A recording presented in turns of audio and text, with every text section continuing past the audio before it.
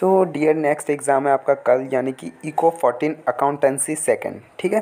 तो दो घंटे का एग्ज़ाम है, पचास मार्क्स का है। कोई भी आपको चार क्वेश्चन करने हैं बट क्वेश्चन नंबर वन आपका कंपलसरी है, ठीक है? तो थियोरटिकल पार्ट ज़्यादा होता है एंड प्रैक्टिकल क्वेश्चंस भी होंगे, ठीक है? तो मैं आपको बता देता हूँ कि किस फॉर्मेट पे होगा और कैसा होगा। तो जितने भी क्वेश्चंस आपको दे रहा हूँ यहाँ पे, इन क्वेश्चंस को करके जाना। लाइक यहाँ पे जो मैंने दिया है कैश फ्लो स्टेटमेंट ठीक है? तो फर्स्टली इसका मीनिंग कर लेना एंड आपको पता है कैश फ्लो स्टेटमेंट जब भी आप कंप्यूट करते हो तो कौन कौन से होते हैं? Operating investing and financing and इसके यूजेस बता देना कैश फ्लो के क्या होते हैं। एंड देन जो आपके प्रैक्टिकल क्वेश्चन आएँगे, वो आएँगे हायर परचेज का एक क्वेश्चन जिसमें आपको लेजर बनाने बोल सकते हैं एंड जो आपको ऑलरेडी बता दिया होगा कि डब्ल्यू डी वी में है या एस एल एम में है, जो भी आपको गिवन होगा, ठीक है? एंड जर्नल एंट्रीज आपको करना होगा, जो कि आपके फोर फिटेड शेयर क्वेश्चंस पे होंगे।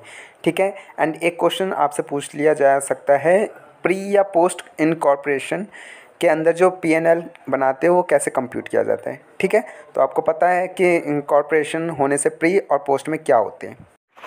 तो जो भी बताया, वो क्वेश्चंस कर लेना and thanks for watching this video hope आप सबके एग्ज़ाम बहुत ही अच्छे जा रहे होंगे अभी तक। ठीक है? आगे भी जाएँगे। वीडियो को लाइक शेयर एंड सब्सक्राइब ज़रूर करना।